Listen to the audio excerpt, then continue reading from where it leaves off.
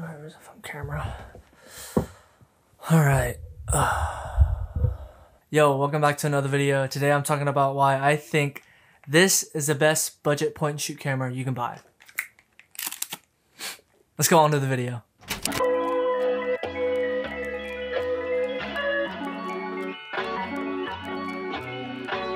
I want to start this video off by saying I've been shooting with this camera ever since I've been shooting film, which was about like four years ago.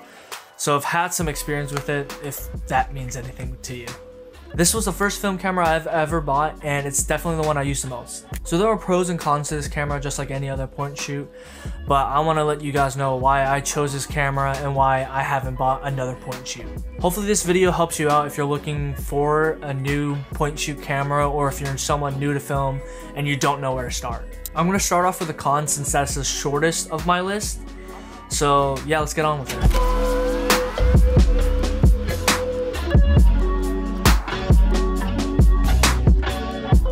Okay, so the first con to this camera is the flash. Now don't get me wrong, I love flash photography and the look it gives. It's so much more different than natural light, but this camera does not give you the ability to turn your flash off or on. It has an auto flash, which basically means like this camera will automatically turn the flash on if it thinks your photo or your subject is underexposed. Why Olympus chose to do that with this camera, I have no idea, but it's not the worst thing.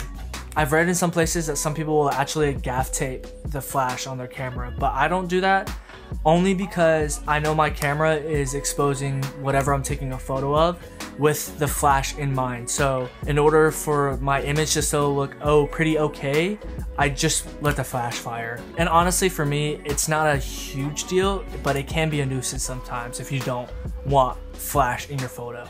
So you can either just not worry about it or make sure that whatever you're taking a photo of, whether it's a person or like a landscape or a cone or something, whatever you're taking a photo of, just make sure that it is lit properly.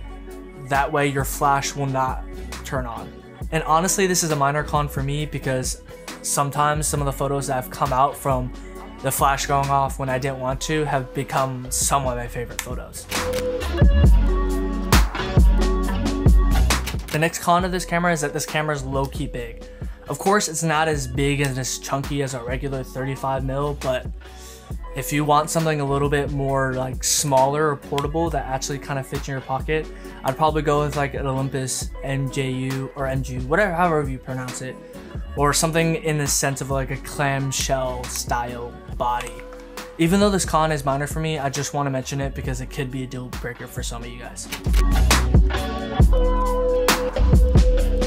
I'm mentioning this as a con because it was very frustrating when I first got the camera.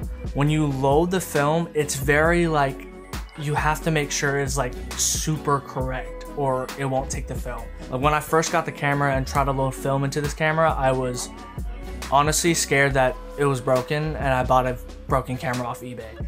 But I finally figured out how you're supposed to do it. You just gotta make sure that the tag is like in there, but not like super in there. It's weird. I, I'm gonna drop a link in the description just so you guys can see what I watch to help me load film if you're deciding to buy this camera. So that's pretty much all the cons for me, so I'm gonna go on to the pros.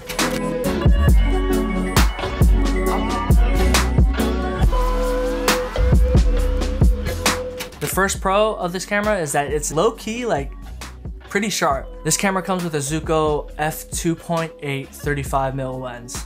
It does really well both in like bright situations or dark situations. And here's some photos to help you guys see the sharpness of the lens.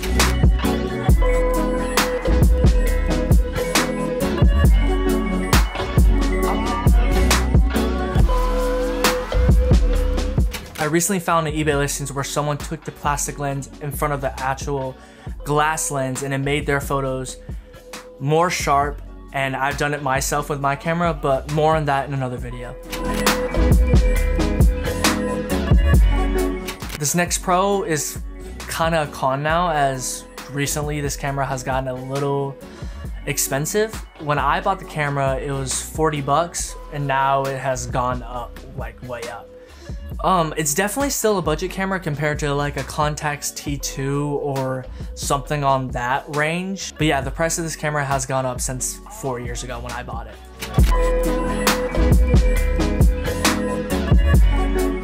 Probably one of the most obvious pros of this camera is that it's a point and shoot camera. You can literally take it everywhere. And when I say like, I literally take it everywhere, I do.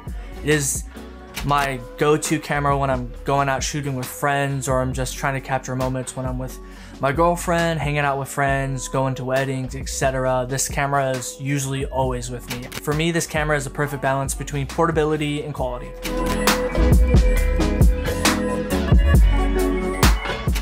This camera rarely misses focus as well. I usually fire the camera like this when I'm shooting and I can count on my hands how many times I miss focus with this camera. The key thing to nailing focus on the camera is that in the viewfinder, there's a little box that is in the middle of your viewfinder and whatever is in the center of that is usually going to be in focus.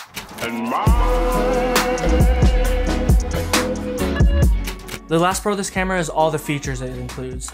So two things this camera has is a focus lock and a self timer but low key, I have no idea how to use a focus lock. So if you're somewhere out there who has this camera and knows how to use a focus lock, go ahead and drop a comment on how to use it because your boy doesn't know how and I've low key just never tried to learn. But I do know how to use a self timer and I've used it for a lot of my group photos whenever I want to be in the photo, but also want to take a group photo with everyone. To use the self timer button, you want to press the self timer button on top of the camera and at the same time, half press your shutter button, which should trigger the self timer. You know if you trigger the self timer if you see a red light in front of your camera. Now you have 10 seconds to frame up everybody or make sure everyone's in place before it finally blinks three times and then fires the camera. So 10 seconds is a pretty long time, so you guys have a good minute, but I usually try to group everyone in and make sure it looks good before I start the self timer. So, and that's my review on the Olympus AF1 and why I think it's one of the best budget point and shoot cameras you can buy.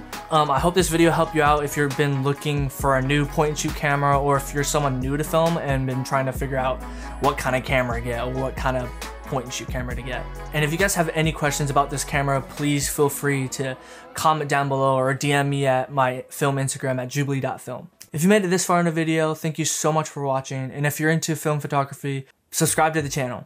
Again, thank you so much for watching and I'll see you guys in the next video. Peace.